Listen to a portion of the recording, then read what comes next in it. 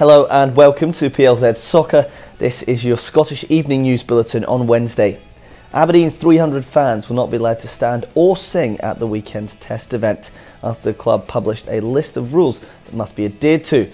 Now, Pittodrie and Ross County's Global Energy Stadium will welcome a limited number of supporters for Saturday's Premiership matches, but the strict regulations will be in place. The Dons are hoping to have 700 fans the following weekend as well, along with other clubs across the country. But earlier today, First Minister Nicola Sturgeon suggested she could halt the phased return of crowds after a surge in COVID cases this week. We'll find out more tomorrow. New Celtic signing Shane Duffy is relishing competition for places with current centre-back pairing Chris Ajer and Christopher Jullien.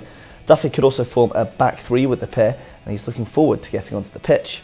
Yeah, really excited to, to play, learn from them. Two top players in my opinion and I've watched them closely because obviously I watch Celtic so uh, I'm as I really excited. It's, it's up to me to try and push them and try and force my way into the squad. Scotland forward Ollie Burke has signed for Sheffield United in a swap deal with West Brom as Callum Robinson goes the other way. The 23-year-old struggled to make a mark with the Baggies and spent the second half of last season on loan at Alaves, having done so with Celtic the season previous, but he will now play again in the Premier League. And Falkirk have reached an agreement in principle with US-based investors for a six-figure cash injection.